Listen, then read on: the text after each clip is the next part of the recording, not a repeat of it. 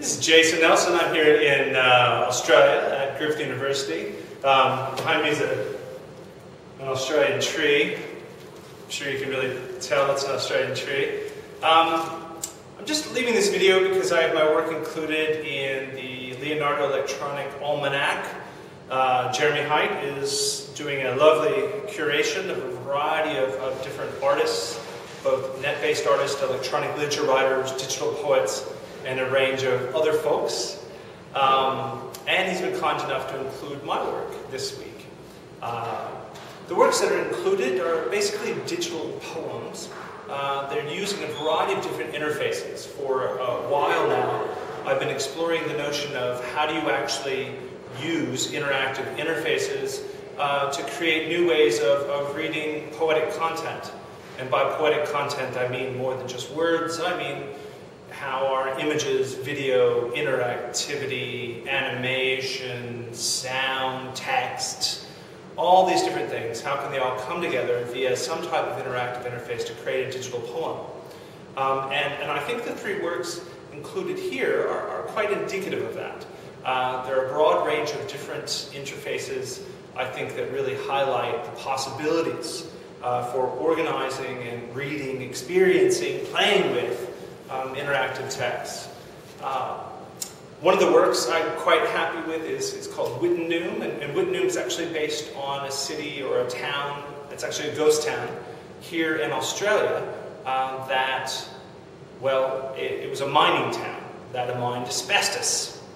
And after mining asbestos for any number of years, and the town filled with people because there was quite a lot of money involved in that at the time, uh, they recognized that the tailings piles from the mining was filled with asbestos.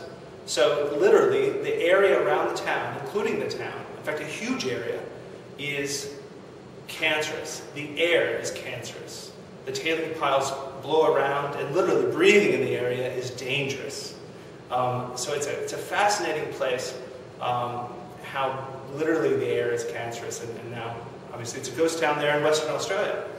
Uh, in fact, a lot of the works represented here are about my experience uh, being American of origin, Oklahoma to be specific, and living in Australia, and some of the parallels that I think Oklahoma has with Australia, and how many ways, you know, they're both places of sort of hope and abandon. They're both places of, of people's misconstrued understandings of what the place means, um, and yet of a strong identity. Um, and so I think all of the works pretty much that, that Jeremy has included are, are, are approaching that. Uh, all the works have been Flash. I realize that's a, that's a bit of a, not a controversy necessarily, but it's a bit of an issue for me as an artist right now because I think I'm wanting to move away from that technology for obvious reasons have been the news, but also because it's good to sort of change these things at times. Um, anyway, so this is just a short video of me saying hello from Australia. I've, I've included descriptions of all the works. Uh, I do hope you enjoy them. Um, do, do spend time, play and explore, go back, reconfigure them, see if you can find new things. All good digital poems are not meant to be read on the first time. They're meant to be re-explored. Uh, they're meant to be re-examined. They're, they're not meant to be deconstructed. They're meant to be experienced and played with. And as I always say, these are playthings. These are small little digital creatures. Uh, they're quite alive in many ways. And so I hope you enjoy playing with these little built pets. All right, cheers. Thank you.